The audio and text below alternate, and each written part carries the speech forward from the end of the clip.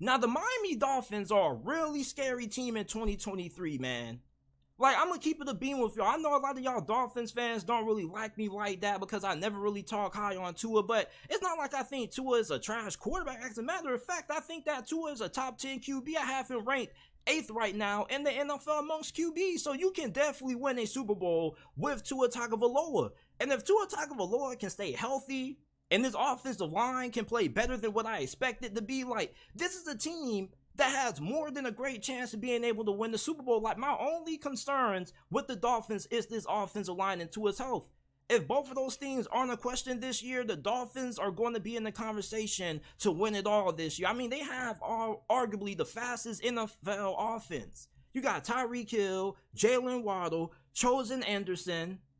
You got Raheem Mostert, that running back. He's one of the fastest running backs in the game right now. You got De'Von Achane, who was the fastest running back coming out of this past year's draft. I mean, it's just speed all over the place. They got a NASCAR team on offense. And then their defense with Vic Fangio is probably going to be either the best or second best defense in the NFL, probably behind the Dallas Cowboys. Like Vic Fangio's defense is being used by nearly half of the defensive coordinators in the NFL. Like this dude is the godfather of this defense that's been used all around the NFL. They call it the Fangio Six. And now you got the godfather at the helm at defensive coordinator who's going to be a, a, upgrade from the defensive coordinator that you had last year. Which, by the way, I'm going to take my victory lap because I told you Dolphins fans that he wasn't a good DC. Brian Flores took over play calling the year prior to last season. That's why that defense turned around. But whatever, I just had to take my victory lap on that. But when you look at this Dolphins defense, you got a really good cornerback duo with Jalen Ramsey and Xavier Howard. Now, Xavier Howard had a down year, but hopefully playing with Jalen Ramsey and being able to have a better defensive coordinator will get, will get him back on his feet. You got Jevon Holland, one of the better safeties in the league, and you got a really nasty defensive line. Like you got Christian Wilkins, this dude's a defensive tackle that plays like he's a linebacker. You got Jaelan Phillips, who's one of the more underrated pass rushers in the game. And you got Bradley Chubb. And I know Bradley Chubb didn't really look promising when he got traded to the Dolphins, but he's being reunited with his former head coach. Vic Fangio got the most out of Bradley Chubb when he was the head coach for the Denver Broncos. So for the Miami Dolphins, they have one of the talent, one of the most talented defenses in the NFL this year, and a really talented offense. This is one of the best rosters overall in the league, minus the offensive line. Like this team is good enough to win a championship. And when you look at this division, I mean, this division is going to be tough. Like, I feel like some people are sleeping on Buffalo. I'm kind of sleeping on the Buffalo Bills. I don't know how you guys feel about the Bills, but I think the Bills are probably going to be like a wild card team this year. I really feel like the Jets are going to be really good with how good that defense is going to be, but they have some questions on the offensive line like you guys do also. But I wouldn't sleep on Aaron Rodgers. But honestly, like the Miami Dolphins, they're going to have a good defense. They're going to have a great offense, but the Jets defense is like that too. So that could go either way. But you compare them to the other teams, it's like you got a good shot against, you know, the Jacksonville Jaguars. Like, I don't think the Jaguars have arrived yet. Like, I think that the Dolphins have the third best chances of being able to make it to the AFC championship game. In the AFC, the teams that I have over them are the Ravens and the Cincinnati Bengals simply for the fact that both of those teams have better offensive lines than the Miami Dolphins.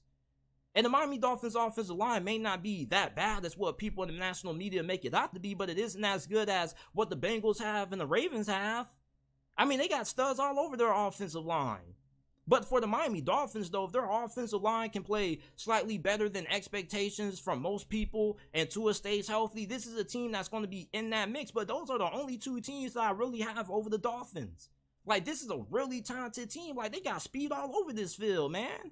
How many people are going to be able to slow down the combination of Tyreek Hill and Jaylen Waddle plus Robbie Anderson? Like, I think Robbie Anderson is going to be a way better number three than what they were expecting who was that dude they signed? Cedric Wilson? They that dude's not a good fit in that offense. Like he ain't got no wills like that for real. Getting Robbie Anderson was a really underrated addition, and Robbie Anderson is not that bad. Like Robbie Anderson is a really good number three.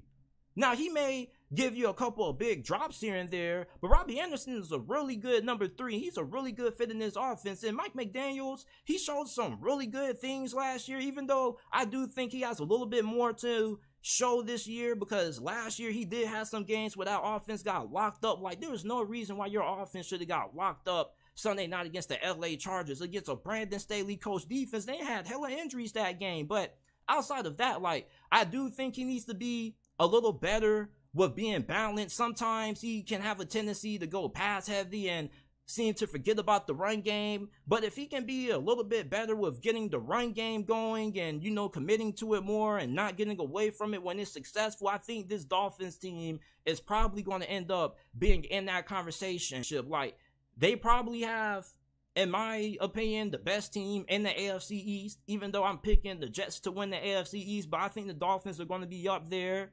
And then when you look at them compared to the rest of the AFC, like the rest of the AFC doesn't have the kind of talent that the Dolphins have. Maybe you can use their offensive line as a knock on them, which is my knock on them. But outside the offensive line, like this team is stacked.